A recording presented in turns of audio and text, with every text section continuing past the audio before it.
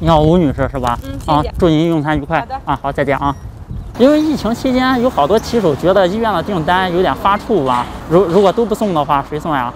画面中的人叫李岩，是北京的一名外卖骑手，这是他做骑手的第五个年头，工作生活都在通州，这里的每条街巷他都烂熟于心。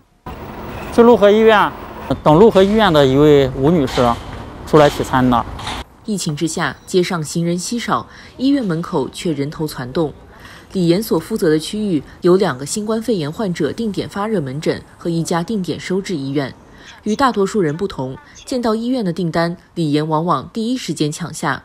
由于曾一度包揽片区内所有医院的订单，他也被称为片区的医院送餐王。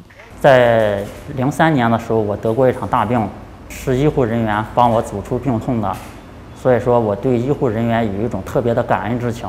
疫情期间那段时间，大家都不愿送医院的订单，然后医院的订单在后台挂着，我直接就拿上了。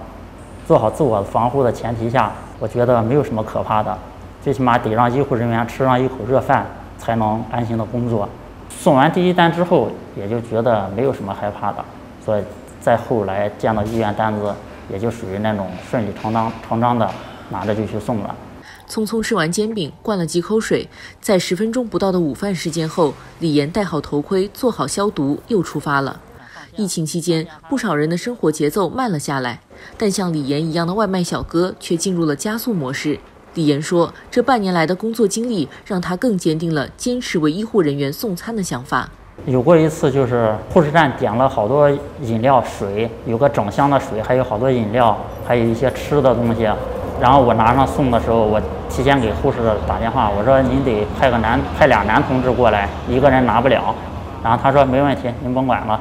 然后到医院门口的时候，一个挺瘦小的护士推着个轮椅过来，把所有的东西放到轮椅上面推着过去。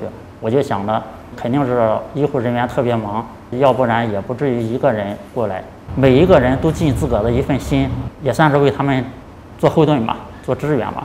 入行五年，李岩见证了外卖行业的成长发展，也切身体会到外卖员这一职业越来越受到社会的尊重和认可。有我的同行老纪，他首次登台那个国新办，他提出的是我们骑手是城市的摆渡者。当时武汉疫情最严重的时候，他们是武汉的城市摆渡者，现在我们是北京的城市摆渡者。去年国庆阅兵的时候，我们外卖骑手也出现在了游行方队里面。平时送餐的时候，基本上所有顾客都会说一声谢谢，辛苦了。我也觉得心里特别的热乎，所以说，我觉得我们骑手这个行业首先得到社会的认可了，在疫情期间，我们更是得到社会的尊重了。李岩说：“为了能让更多在一线打拼的医护人员吃上一口热饭，他愿意一直送下去。”